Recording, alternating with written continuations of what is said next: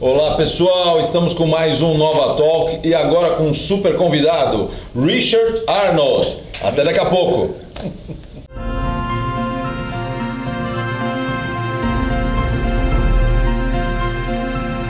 Very well, people. One more international guest here at Nova Talk. Our second international interview. Oh my.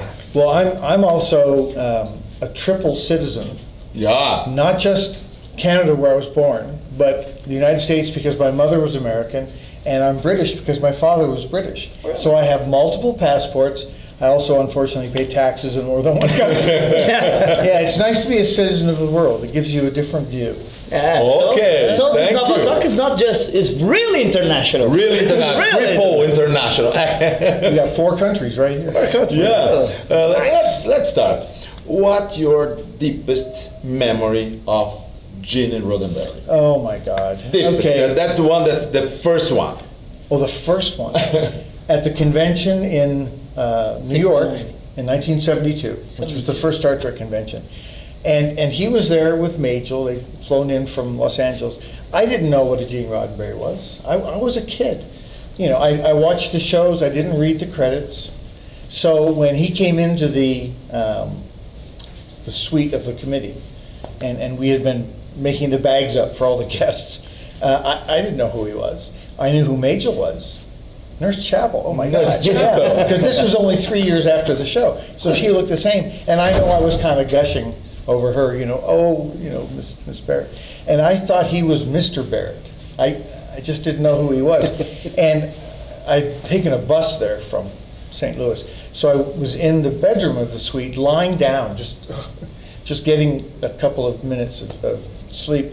And he came in and sat on the bed next to me, and he said, "Are, are you okay?" And I said, "Oh yeah, I just I came from St. Louis, so I'm a little tired." And we just started talking, and then he used the bathroom and he went out. And the next day, as they were starting the convention, they were going to have him talk. And I was really interested to listen Yeah. to the man who created Star Trek. And I was backstage getting some water and some ice and some glasses to put on the stage. And I see him come back, and I thought, oh, Majel must be coming down too. I was wondering, my Mr. Barrett was there. And they introduced, you know, Gene Roddenberry, and out he goes, and I'm like, oh my God. and, and afterwards, I was apologizing, and he just thought it was funny. He thought it was funny, and he gave me their address in Oh. Los Angeles, and, and said, if you ever have any questions, you, and I thought, yeah, right. And I wrote some questions, and he answered them.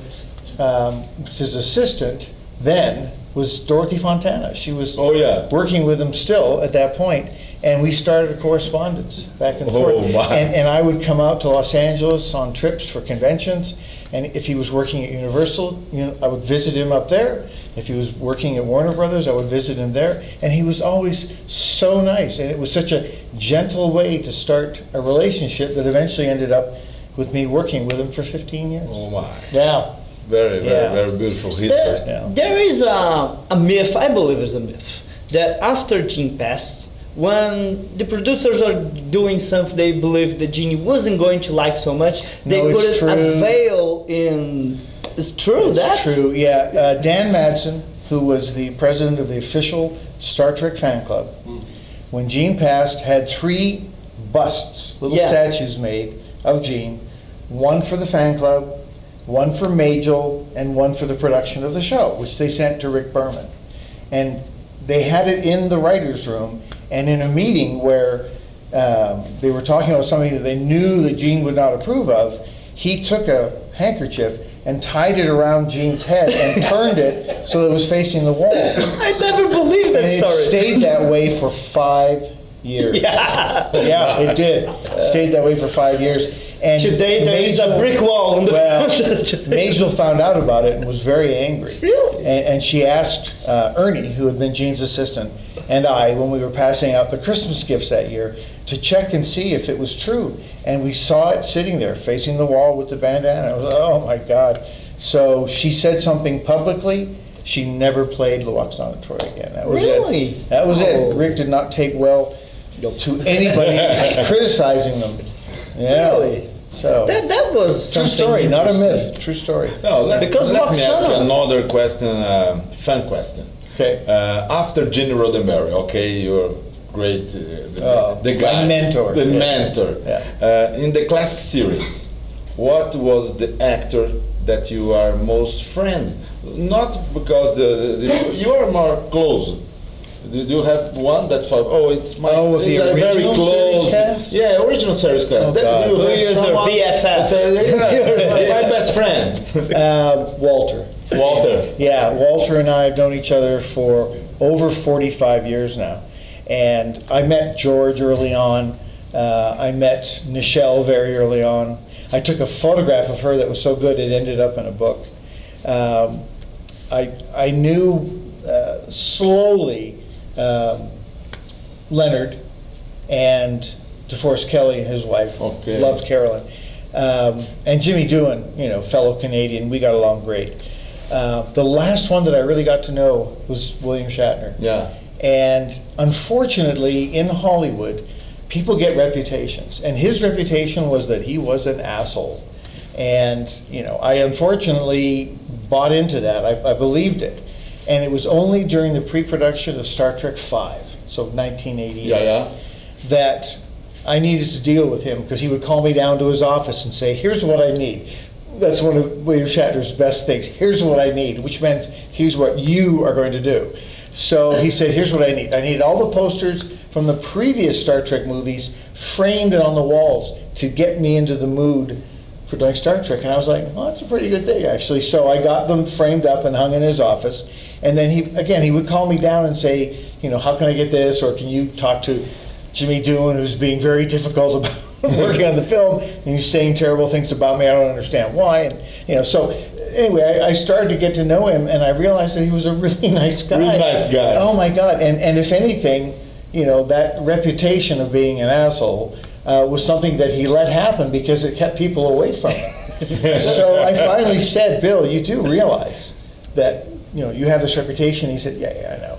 And he said, Well, why don't you deal with it? And he said, Well, in Hollywood, if you're accused of something, if you fight it, you're obviously guilty. Oh. And if you don't fight it, you're You're obviously guilty. guilty. Yeah, yeah. There's no difference Said, of the two do. of them, not fighting it is just easier.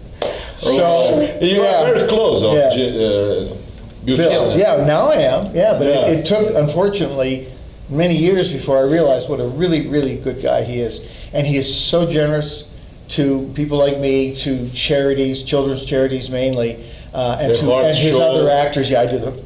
I'm not. I thought I was wearing it today. Um, his horse show every year, he's raised millions and millions of dollars for children's charities specifically because he loves children.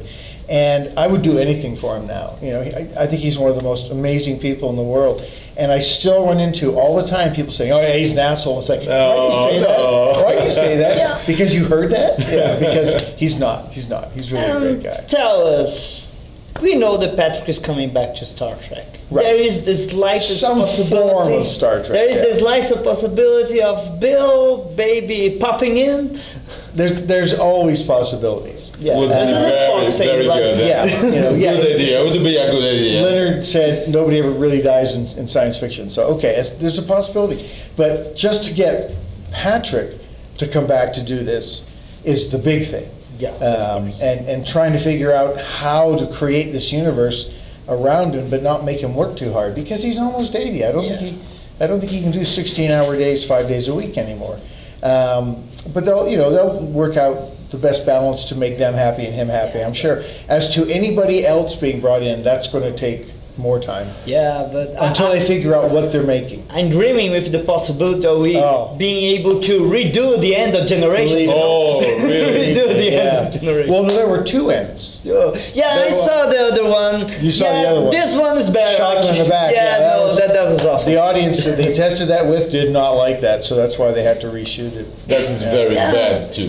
Yeah. There is some Yeah. people that say, "Oh, I don't like that. We uh, Captain Kirk in this age is punching the guy. He's Captain Kirk. He can punch the guy in the hundreds. Yeah. By the way, uh, the second ending was the one that Bill wanted. yeah. Yeah. He wanted to be able to sort of look off and say, "Oh my," oh my, George, yeah, yeah. And- and then- oh my, it's a George Frey. that was the way he wanted the character to end.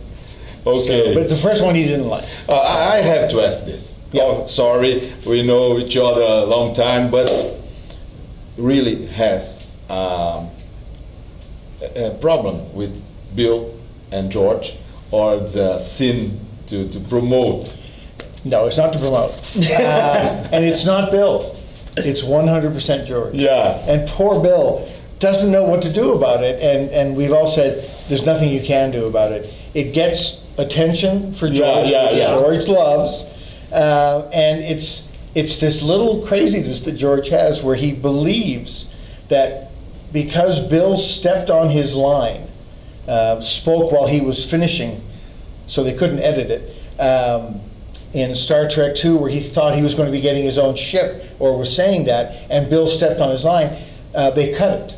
So he did not get his promotion, and in the movie, and George felt that Bill kept him from getting a promotion. It's like, but it's not real, George. There is no Starfleet. You know, he didn't stop me from getting a promotion. Right? Are you sure? But yes, he, he held that against him for years. but it Yeah. would be a very good uh, series about Captain Sulu. No, stop, stop.